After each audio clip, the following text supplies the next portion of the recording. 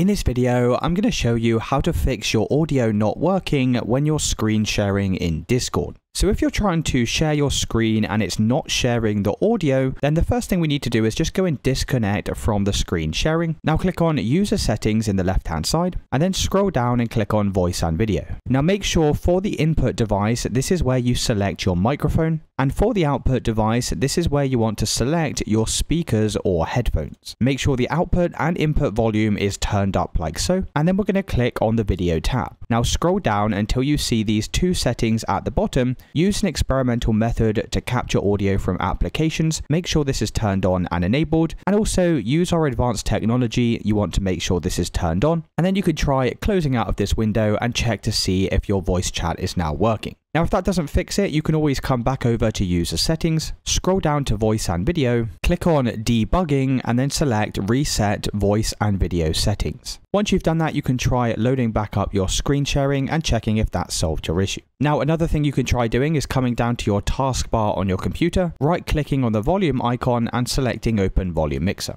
Click on the drop down arrow next to output device and make sure your speakers and headphones are selected. You also need to click on the drop down arrow next to input and go and select your microphone. Now scroll down to Discord and make sure this slider here is turned up to full. We can then load back up Discord and you can go in and start sharing your screen. Once you're back in your voice call, click on share your screen, select the application that you want to go and share. Now from here, go and right click somewhere on the screen and make sure share stream audio is checked and enabled like this. And it's as simple as that guys. If you did find this video helpful, then let me know in the comments and I'll see you in the next one.